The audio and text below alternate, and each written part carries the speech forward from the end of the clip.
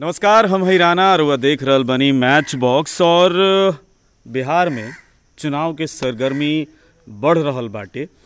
जे तरह से कोरोना के केस लगातार बढ़ रहा बा वही तरह चुनाव के सरगर्मी भी रोज बढ़ रहा बा और दौरा चालू बा, लॉकडाउन फिर से लग चुकल बा, लेकिन फिर भी नेताजी लोग अपना अपना दरवाज़ा से ही फ़ोन के माध्यम से, टेक्नोलॉजी के माध्यम से अपना समर्थक, अपना वोटर से जुड़े के कोशिश लगातार कर रहा बानी लोग अभी आज यही दौर में रघुनाथपुर विधानसभा में मैच बॉक्स की टीम भ्रमण कर रहा बिया और भ्रमण करते हुए अभी हमारा साथे जे मौजूद बा उ आपन दावेदारी विधानसभा प्रत्याशी के रूप में ठोक चुकल बा। जी हाँ हमारा साथे बानी अनिल सिंह जी, जौन की जिला पार्षद बानी, दूसरा बार जिला पार्षद बानी, और यहाँ के विधानसभा से आपन दावेदारी ठोक चुकल बानी। बहुत बहुत स्वागत बा मैच बॉक्स के कार्यक्रम में।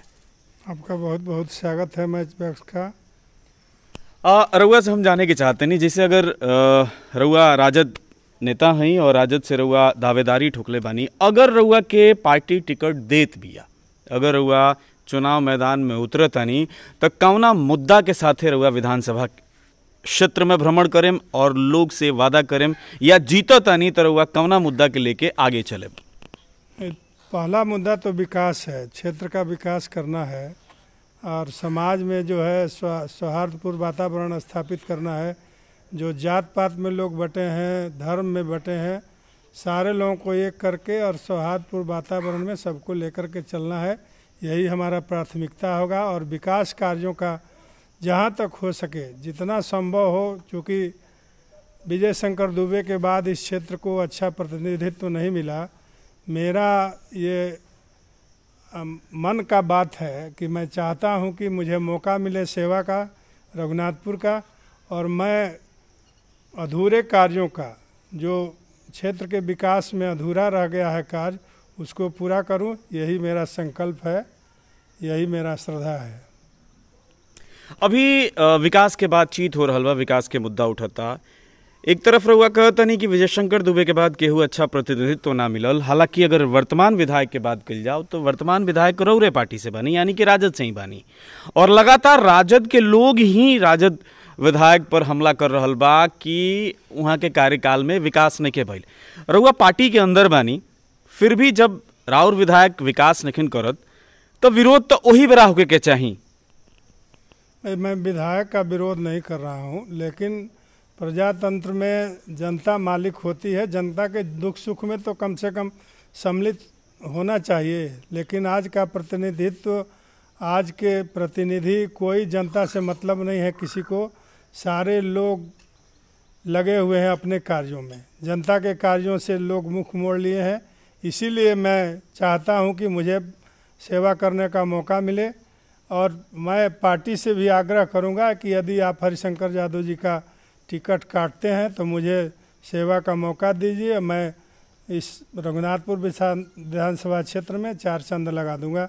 सेवा करके, विकास करके, आपसी भाईचारा और सौहार्दपूर्ण वातावरण बना करके, इन्हीं संकल्पों के साथ मैं बराबर क्षेत्र में भ्रमण करता रहता हूँ। दो बार जिला पार्षद रहा हूँ। निर्दलीय विधायक भी लड़ा हूँ। काफ़ी समर्थन मिला है जनता का। लगातार मैं आज 20 वर्षों से सार्वजनिक जीवन में हूँ। मैं, मेरी भी इच्छा है कि एक बार मुझे पार्टी मौका दे और मैं जनता की सेवा करूँ, रघुनाथपुर का भला करूँ। रघुनाथपुर विधानसभा के बाद चलता तो हम हर एक प्रत्याशी से एगो सवाल करतनी ऊ बाटे रघुनाथपुर के सबसे बड़ समस्या। रघुनाथपुर रेफरल अस्पताल। कब बिल्डिंग ढह जाई, एकर कोनो गारंटी नहीं है हर साल बाढ़ में बिल्डिंग जन बाटे पानी में जलमग्न हो जाता और मरीज़ के मतलब वहाँ लैंड करावल जाता, लोग उठा के ले जाके रखता। खुद अधिकारी लोग वहाँ गाड़ी से चार चक्का से तो पहुँच जाता, लेकिन जौन मरीज़ बाड़े, उनकरा खातिर पहुँचल बड़ा मुश्किल बा। रेफरल अस्पताल में जौन की पूरा रघुनाथपुर क्षेत्र के प्रसव करावेला ओमे एगो लेडीज़ डॉक्टर नहीं खे। का ई मुद्दा रघुनाथपुर विधानसभा खातिर सबसे बड़ मुद्दा नहीं खे? एकदम बढ़ के मुद्दा बा। ये सबसे बड़ा मुद्दा है रघुनाथपुर के लिए, और यदि मुझे मौका मिला तो सबसे पहला काम होगा कि रेफरल अस्पताल का सुधार हो, भरसक संभव हो सके तो नया बिल्डिंग बनाया जाए। रघुनाथपुर में दो तीन मुद्दे हैं, जो शहीद मैदान है, रेफरल अस्पताल है। बरसात के दिनों में चार पाँच महीना तो जल जमा हो जाता है, जिसके चलते जनता को काफ़ी कष्ट होता है। ये हम लोग महसूस करते हैं, चूँकि हमको उतना पावर नहीं है, न कभी मिला है कि मैं इस काम में लगूं और इस काम को कर सकूँ। यदि मौका मुझे मिला तो ये काम प्राथमिकता के आधार पर करूँगा। मेरी ये पूरी संकल्प, ये मेरा संकल्प है। मेरा ये बड़ी दर्द होता है जब मैं दिक्कत देखता हूँ जनता का। इसलिए मैं आपको आश्वासन देना चाहता हूँ, क्षेत्र के जनता से भी कहना चाहता हूँ कि मुझे यदि मौका मिलेगा, मैं रेफरल अस्पताल का उद्धार निश्चित रूप से करूँगा।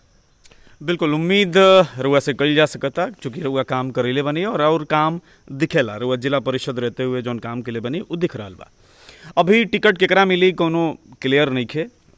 हरिशंकर यादव जी भी कहतनी कि हमार टिकट कटी ना।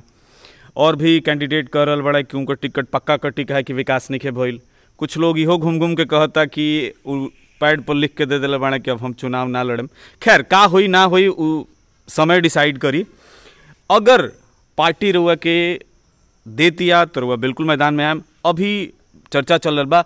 अभी आम जनता से का अपील करे के चाहब? चूँकि पैंडेमिक भी बा, कोरोना के समय बाटे और ई बड़ा विकट परिस्थिति से गुजर रहा बा पूरा दुनिया। तो हमनी के जौन रघुनाथपुर विधानसभा के लोग बा, ओकरा से रुआ का कहे के चाहम एगो नेता होके। सबसे पहले तो भाई आग्रह बा कि आप लोग कोरोना से बचिए।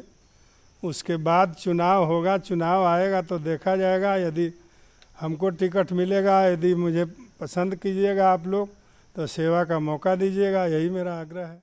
बहुत बहुत धन्यवाद श्रोता बंधु दर्शक बंधु। हमारा साथे रहनी है अनिल सिंह जी जौन की वर्तमान में जिला पार्षद बानी। और आज खास बातचीत यहाँ से भइल। यहाँ के दावेदारी पेश कर रहल बानी राजद से। अगर राजद पार्टी यहाँ के टिकट देती है तो यहाँ के रघुनाथपुर विधानसभा से चुनाव लड़ब। बहुत बहुत धन्यवाद बा और साथ ही बहुत बहुत धन्यवाद आप लोगों को भी। भविष्य खातिर वह के शुभकामना बा, और भविष्य उज्जवल होके यह कामना बा। मैच बॉक्स देख रहा बानी रुआ अगर ये बातचीत सार्थक लागल होके, अगर ये बातचीत पसंद आयल होके तो लाइक करी कमेंट करी, और मैच बॉक्स के अभी तक सब्सक्राइब नहीं कैले तो कर ली, और वीडियो के ज़्यादा से ज़्यादा शेयर करी। बहुत बहुत धन्यवाद।